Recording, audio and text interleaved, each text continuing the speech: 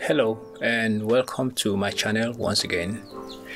Today I will be talking on Grey.co. Grey is uh, an online platform that um, receives, send, exchange, and manage multiple currencies in one app. It offers services in pounds, US dollars, euro as well. So today I want to be showing you how to add money to your dollar virtual card. Okay, this the website this their interface this video is for grey users people who know about grey who are currently using grey people who are also searching to look out for platform they can use to make exchanges. So new users can also benefit from this. So this is how the website look like. So i'm going to log in and move on to the next part. So what i want to show you today how you can go about funding your your naira account because definitely you have naira account you have your dollar account you have your euro account you have your pounds account. This is my dashboard. You can see all the functions that are there. So my name is felix. Yes you have your british pounds you have your dollar you have your euro you have your naira.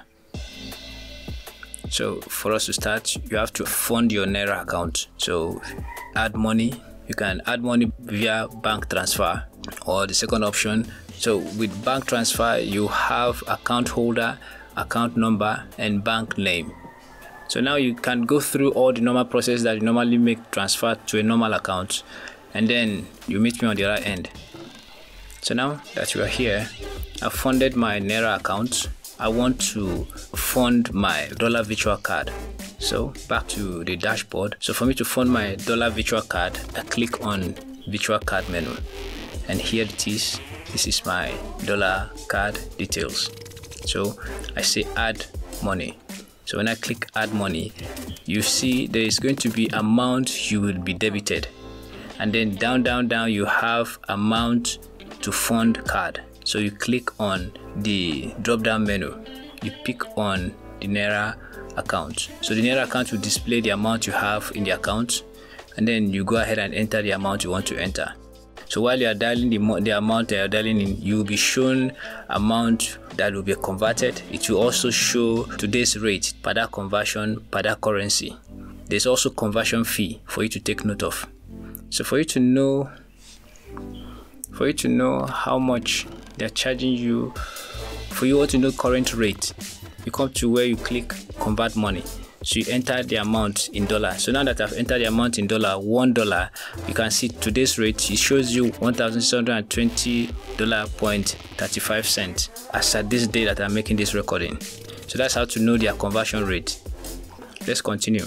On the dashboard pick virtual card add money. Pick the naira account. So i have 960,000 naira and i want to convert the whole 960,000 naira into dollar equivalent. So i just entered the total amount. And so the dollar equivalent i'm going to get is going to be 571 dollar. And don't forget there's conversion fee that they've charged me 9000 naira. So i think everything is clear right there. Click continue. My balance will definitely change once my page is refreshed. So refresh the page and then go back. You can see the naira menu indicates zero naira. And i'm back to my virtual card is reflecting the amount now. So that's how to go about it. Trying to use this feature for the first time can be a little bit confusing.